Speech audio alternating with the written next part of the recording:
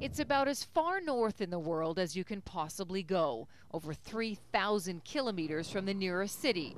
In fact, if you pictured a globe on a stand, this place would be somewhere under the little cap at the top. It's called Eureka, and it's home to the world's northernmost full-time weather station, a place Arctic scientists are flocking to from all over the world. They're coming here as part of International Polar Year, a massive global scientific project studying the effects of climate change on our planet. Wayne Pollard is with the team from McGill University in Montreal, some 6,000 kilometers to the south. I think Eureka is one of the, the few places in the Arctic where you get a sense of, of a truly structured science environment. This isn't easy work, due in large part to the weather. Even at high noon, it's typically well below minus 20 degrees. But taking measurements this far north is one of the best ways to understand the effects of global warming.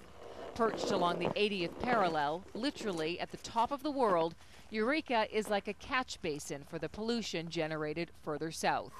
We were going to use a bigger balloon for this, but it's too windy. Twice a day, scientists like Kelly Spokes release these massive balloons to capture ozone and humidity levels in the atmosphere. And the Arctic is a, a great sort of global laboratory. You know, we're, we're well clear of the worst of the on-site atmospheric pollutions. What we're looking at is the stuff that's mixing up and covering our entire globe.